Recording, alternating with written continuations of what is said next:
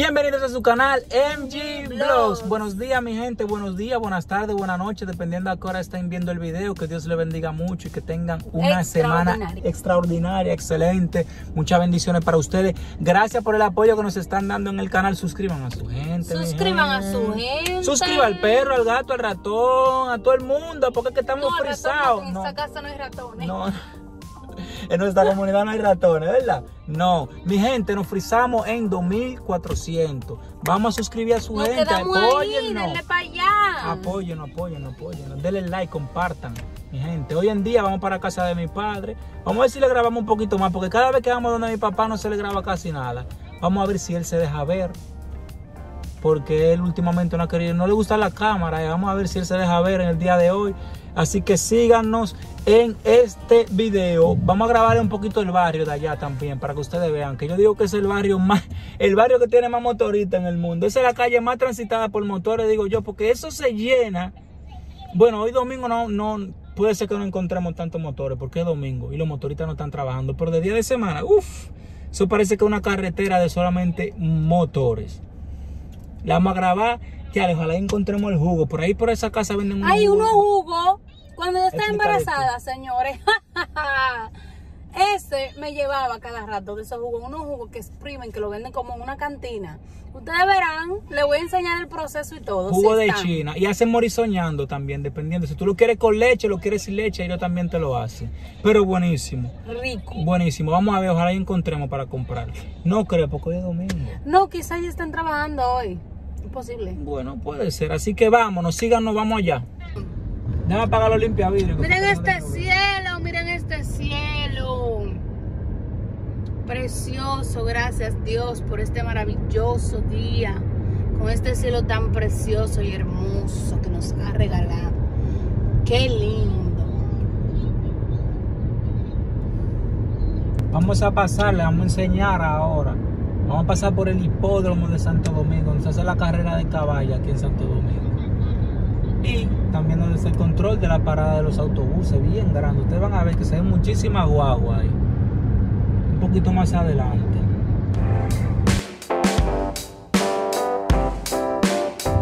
Hipódromo, amores. Hipódromo.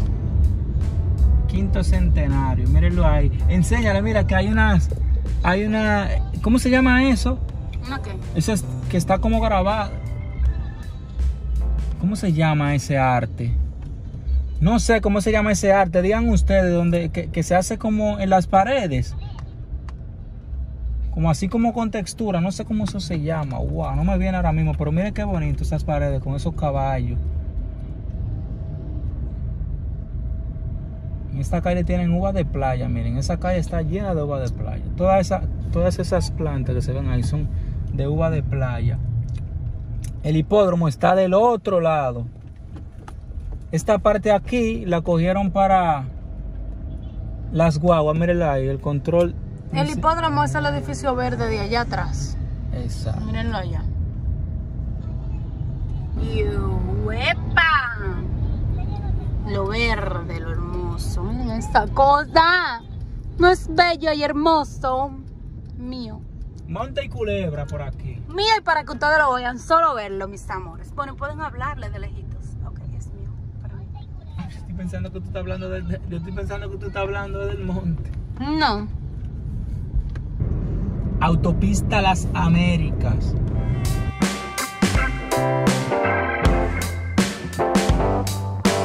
Mi gente, miren, ahí donde dice Altiz, eso se llena de motores. Mira, hay, hay pal, hay pal. Hay pal, eso se llena eh, de motores. Hoy como es Full. domingo, enseñar a los fruteros. La gente fruta, mis amores. Uh, carísimo, no se lo recomiendo. Ok, gracias. Bien, ah, eso se llena de motores. ¿Dónde está? Míralo La allí. del allí, calvo, El calvo, el clavo. El clavo, señores. Miren los 24. Esa se llena. Enséñale, enséñale. ¿Dónde comienza? Pero ese carro rojo hasta el mamén, lleno de, motores. Lleno de motores, todo, uno arriba de otro, mi gente. Parecen sardinas. Y la botella, esa botella explota. Ellos aman diciembre, la, lo aman diciembre.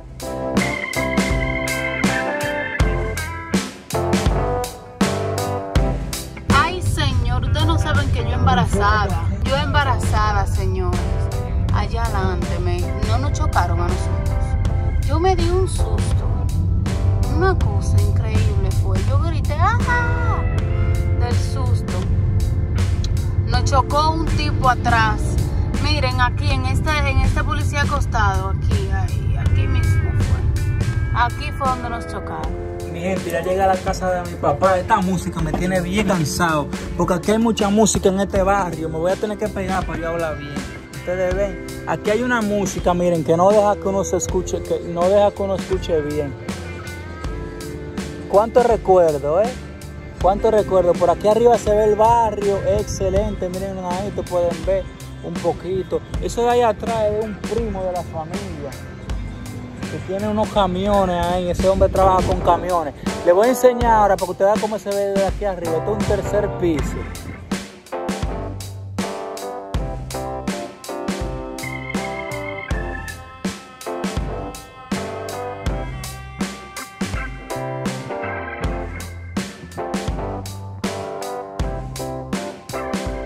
Miren, ahora les voy a enseñar. Mira, aquí arriba, en esta casa, hay una, hay una, una mata de aguacate. Déjame ver si tiene aguacate. Tiene un aguacate, pero son chiquiticos. Disculpen el, el ruido, pero es que aquí hay muchísimo ruido y hay uno, hay música porque hay mucho colmado. Y ustedes saben que aquí en mi país le encanta a la gente el can, escuchar música, tomarse unos traguitos y más que hoy es domingo. Que la gente en familia se bebe su traguito y eso y ponen su música. Por eso está hablando un poquito alto. Miren los aguacates, miren los aguacates. Son unos aguacaticos chiquitos, miren, son chiquiticos eso. Que están creciendo, miren eso, miren eso. Yo no había visto aguacates tan chiquitos, mira, mira, mira. Chiquiticos son, lo puedo agarrar con, con los dedos. Y miren aquí también, está lleno, son, muchos. Mírenlo ahí, mira eso, es un aguacatico, esa cosita chiquitica, diminuta. Ahí están las flores también. Miren eso, esa, mata tira muchísimo, muchísimo aguacate, muchos. Llena está, miren, eso están un poquito más grandes. Miren aquí, llena, llena, llena de aguacate está. Vamos a venir, ¿eh? Vamos a venir para acá. Cuando esa mata le crezcan esos aguacates, vamos a venir para acá a coger dos, tres. Vamos a pedir permiso a los vecinos y cogemos un par de aguacate.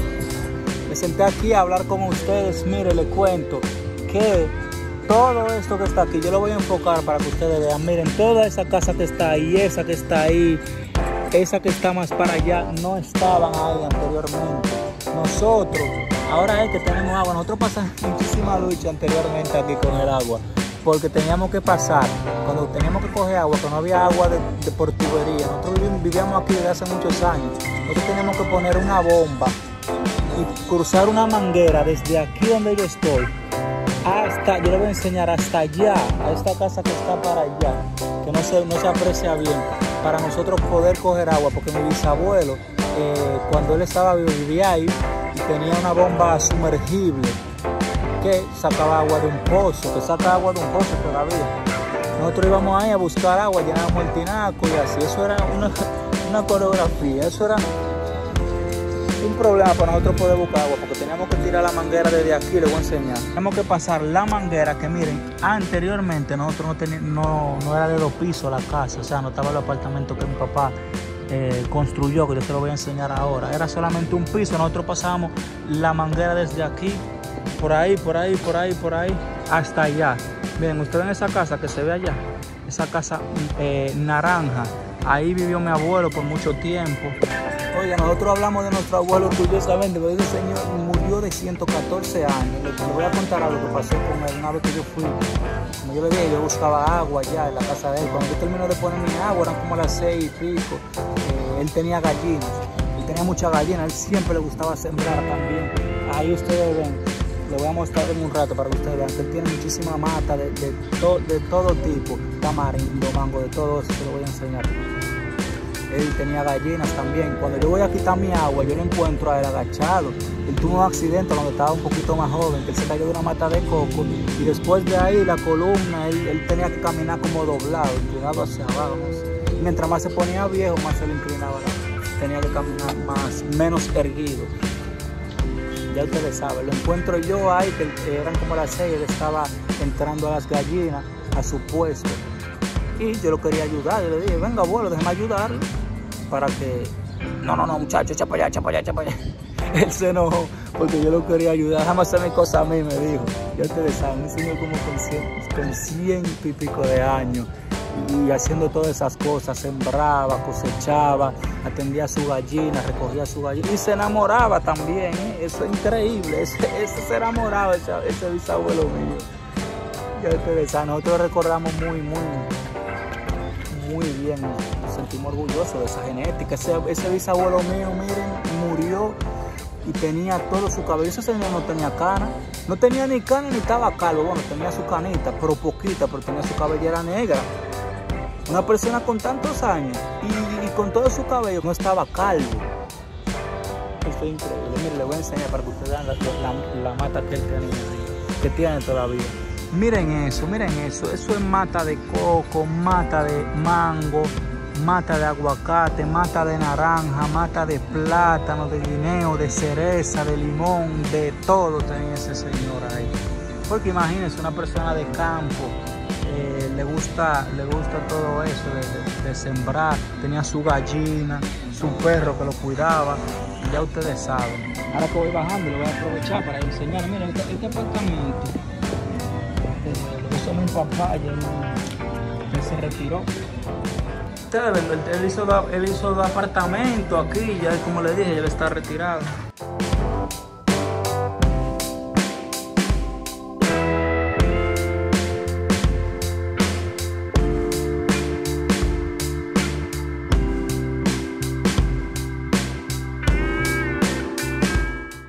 Pues bien, bueno, ya tiene luz, tiene luz y todo. Él, como le digo, ya mi papá se retiró, ya no está trabajando. Eh, y nada, se planificó su, su juventud para él eh, crear, construir su apartamento y alquilarlos. Ya está casi terminando. Son dos apartamentos. Está este que está aquí y uno que está al lado. La casa de él está abajo. Y miren, son, son acogedores. Miren, yo les voy a mostrar aquí. Esta es la habitación principal. Un poquito, es pequeña, pero con un espacio considerable. Bien acogedor, miren eso bien ahí, con un ventanal bien grande de tres, de tres hojas. Esta que está aquí, ustedes pueden ver, tiene un baño. Esto está en construcción, ¿eh, mi gente? Para que no, no digan por baja, que no está pintada ni nada. Está en construcción, no tiene ni siquiera el piso. Ya está terminando. Eh, la semana que viene van a seguir trabajando. Miren, ahí está la llave, es el baño pequeño. Esta es la otra esta es la otra habitación con esos ventanales bien grandes. A mí me encantan las casas que tienen esos ventanales bien grandes así. Ustedes ven, tienen que hacerle los closets todavía. Miren que yo les digo que no han tirado el piso. Esos tubos que ustedes ven ahí son de, de la electricidad y tienen que trabajar también con la plomería de la casa. Miren, ustedes vieron un hueco. Yo no sé si se lo mostré ahí arriba. Aquí Aquí esta parte no tiene hueco, pero el apartamento de al lado sí tiene un hueco que va a llevar una, escalera de caracol para poder subir al, al, techo, atender la ropa. Para la persona poder subir a hacer su, atender la ropa cuando vayan a lavar y eso, la sala. Aquí hay mucho material, ustedes van a ver, miren que están esos materiales ahí, porque están trabajando realmente todavía. Pero está bien bonito, eso lo hizo para él. Eh, esto lo construyó para alquilarlo ustedes saben ya. Para cuando él se jubilara, ya él, se, ya él dejó de trabajar y está enfocándose en la construcción, ustedes saben, para él sacarle provecho a eso. Aquí estamos, sigue lluvioso el día, el día comenzó a llover. Y ya nos vamos, mi gente, vamos a ver por dónde vamos. Vamos a ir al, al, supermercado ahora que vamos a comprar algo al niño, que al niño se le acaban los pampers y vamos a comprarle los pañales. ¿Verdad? Vamos a ver. Vámonos de aquí ya, porque imagínense. Eh, te van a ver a mi papá en otra ocasión. Dios mío. ¡Ay! No se deja ver. Miren, nosotros acabamos de llegar a la casa ahora mismo y le voy a enseñar algo. El niño se ha comenzado a parar en la cama de un momento a otro. Ustedes van a ver, van a ver. Mírenlo, mírenlo. Miren eso, miren.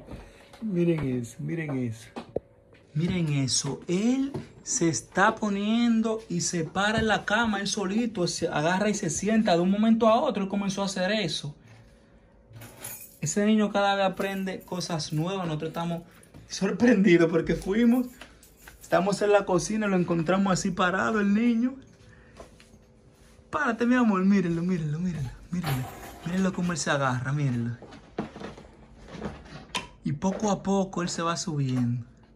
Mírenlo cómo él se pone, ahí mírenlo. Bueno, y visto eso, ya ustedes vieron, mírenlo aquí el niño cómo está. Le dije ayer que me lo cargue porque ya se necesita bajar la cuna de nivel.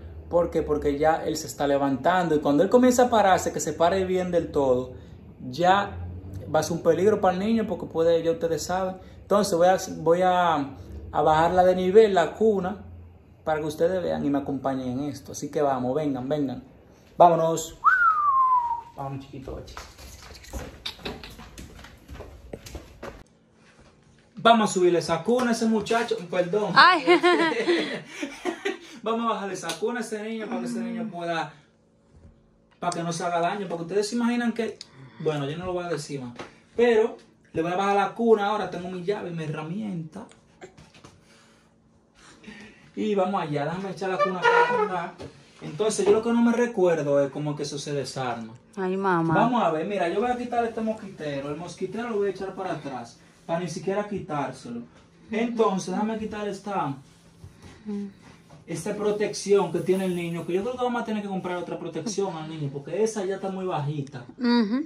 Y es la de Guañanga Pero de todo. todos modos, tú sabes que uno no puede comprar una protección de que, de- de- que llega hasta aquí arriba, porque Sí, pero hay que comprarse la más que- grande. Sí, una más grande, pero él, él con el tiempo va a aprender. Él sabe ya que se da golpe. ¿Tú crees que Ah, el, otro día gateando se echó para adelante para donde mí se dio en la frente? Él y más nunca ha vuelto a hacerlo. Ah, él sabe que eso duele. Él sabe que eso duele, entonces déjame quitar ese, colchón de aquí. Ese colchón. El colchoncito. ¿Qué es eso que tiene atrás? aquí. ¿Eh? Eso parece que, no sé. Entonces, déjame ver. Ah. Vamos a investigar, vamos a investigar esta, esta cuestión aquí. Eh, wow, ¿tú sabes qué es lo que yo pienso que hay que hacer? Quitar uno de estos. No. Sí. Mira, desarmarlo ahí. Míralo ahí, la cosita. No, ¿No será desarmar esa no? No, no, Ay. Es quitando, yo voy a quitar esta parte de aquí, ¿verdad? Entonces lo voy a bajar de aquí y lo bajo de allá. Entonces vamos a eso. Yo le voy a dejar el mosquitero ahí mismo para no tener que estar cogiendo lucha. Entonces yo le quito esta aquí. ¡Wow! Esta, error. Esta no, esta no le sirve, esta es muy grande. ¿No hay una más pequeña? Eh, wow, ¿y dónde estará eso? Déjame buscarlo. Una pausa. Y después de dos horas buscando, porque yo tuve que buscar eso muchísimo, Dios mío. Keymar dio como 10 vueltas en la cuna, en la cama. Diez como diez vueltas. mientras yo Pero aquí, eso. sosteniéndolo siempre, siempre, para que no se me caiga. Ahora voy yo con esto y le quis, le quisto, le quisto, ¡eh! Le quisto, Quístalo, quístaselo. le quito esta que está aquí, Quístalo, quístalo. una, ¿verdad? Dos, tres, dos, tres. Y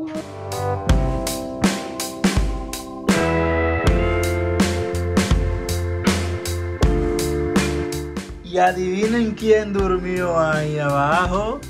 ¿Eh? Ese niño, mírenlo ahí, vamos a ponerle su peluchito para que juegue.